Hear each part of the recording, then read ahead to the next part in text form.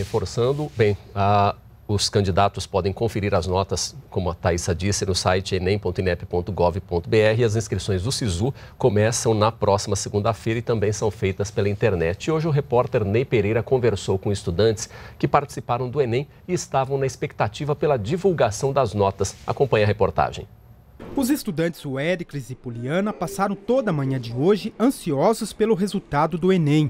O Éricles quer estudar pedagogia na Universidade de Brasília e, para isso, se preparou ao longo do ano passado. Nós estudamos de manhã, por toda a manhã, na escola pública e à tarde viemos para o cursinho para estudar também e estudamos bastante em casa também, que é essencial para o preparatório, né? Já Poliane quer cursar comunicação. Tem as cotas para a escola pública e eu pretendo usar as cotas raciais também. As provas do Enem foram realizadas em outubro do ano passado. São 5 milhões e 800 mil estudantes em todo o país que fizeram o Enem em 2015.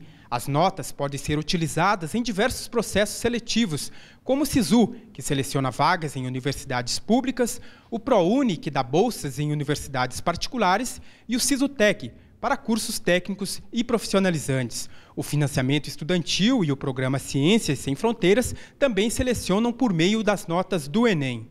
As diversas oportunidades oferecidas pelo Enem fizeram com que a prova ficasse mais difícil. Foram 93 questões de ciências humanas e ciências da natureza no primeiro dia de prova, e outras 93 de linguagem, código e suas tecnologias e matemática, mais a redação no segundo dia.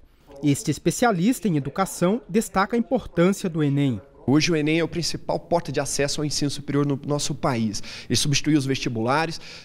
Hoje o aluno tem acesso por meio do Enem a 220 mil vagas que ele vai encontrar. Dos, dos 7 milhões de candidatos, deu uma média de 35 candidatos por vaga para o acesso ao ensino superior esse ano no Brasil. Uma das oportunidades do Enem, o SISU, Sistema de Seleção Unificado, estará com as inscrições abertas a partir da próxima segunda-feira, dia 11 o prazo de inscrição é até o dia 14 deste mês e são feitas somente pela internet.